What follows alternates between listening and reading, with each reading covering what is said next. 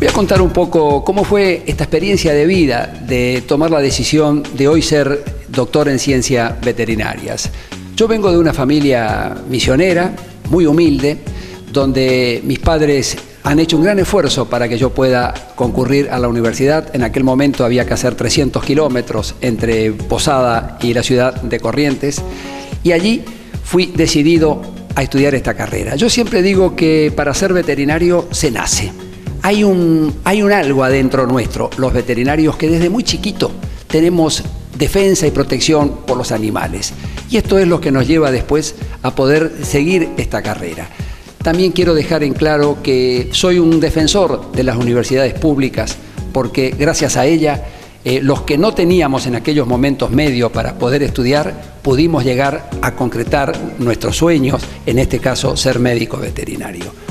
Cuando me recibo, recibí muy joven, a los 23 años, decido venir a la ciudad de Rosario. A mí me gustaba hacer pequeños animales y me acuerdo que cuando llego a esta ciudad me encuentro con algo muy grande. Se imagina, vengo de una provincia chica y mi gran ambición era conseguir un trabajo público. Me acuerdo que recorrí municipalidades, frigoríficos, eh, ministerios de agricultura y ganadería, porque los veterinarios podemos trabajar en estos lugares y la idea mía era tener un puesto público que me asegurara a fin de mes tener una condición económica. Nunca me voy a olvidar que en la calle La Prida y Mendoza estaba el Ministerio de Agricultura y Ganadería y no fue bien tratado. Un veterinario, diría mayor en ese momento, con respecto a mí en ese momento, me dijo que estas ciudades eran para, para, gente mayor, que los jóvenes teníamos que trabajar en el campo y yo le decía que a mí me gustaba hacer pequeños animales y eso lo tenía que hacer en una ciudad grande. Me acuerdo que salí muy desilusionado y le pregunté a un señor a dónde quedaba la avenida Pellegrini, pues yo tenía que venir para la avenida Pellegrini. Y cuando venía caminando, dije, qué, pata que metí, es decir, cómo me viene una ciudad tan grande, qué difícil que es poder conocer gente, qué difícil que es poder ubicarse. Y así fue.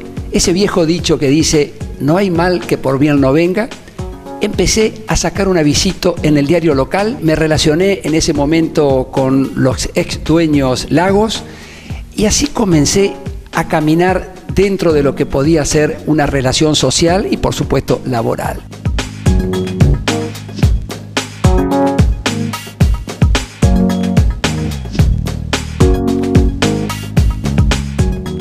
Día día mi trabajo fue en aumento, fue una profesión que, que creció a la par me tocó trabajar. A veces los jóvenes me dicen, a usted le tocó un momento fácil.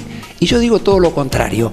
A mí me tocó un momento difícil porque en aquel momento decir que uno era veterinario estaba muy cerca de decir que era un práctico, que era un curandero, no, no había un respeto por la profesión, el veterinario no se vestía como médico, sino que tenía su ropa, su ropa personal. La gente salía de la consulta y te preguntaba, ¿le debo algo? Es decir, no había un concepto de que uno era un profesional y trabajaba por honorarios. Así fue que fui imponiendo esta profesión y lo digo con mucha humildad porque, digamos, rápido me di cuenta que había que atender como que fuera un sanatorio y así comencé haciendo un consultorio que para aquel momento era muy moderno. Viajé por el mundo, inmediatamente concurrí a, Rusia, al Congreso Mundial del 78, yo me había recibido en el 72, o sea que era muy jovencito todavía, y así empecé a caminar el mundo, a ver cómo era el mundo de la veterinaria en el mundo. Esto me abrió mucho los ojos, me hizo pensar que trayendo una partecita de lo que era todo esto, acá se podían hacer las cosas cada vez mejor. Fuimos creciendo, incorporé gente al grupo nuestro, me di cuenta de que no se puede trabajar en forma individual, sino que hay que trabajar en equipo.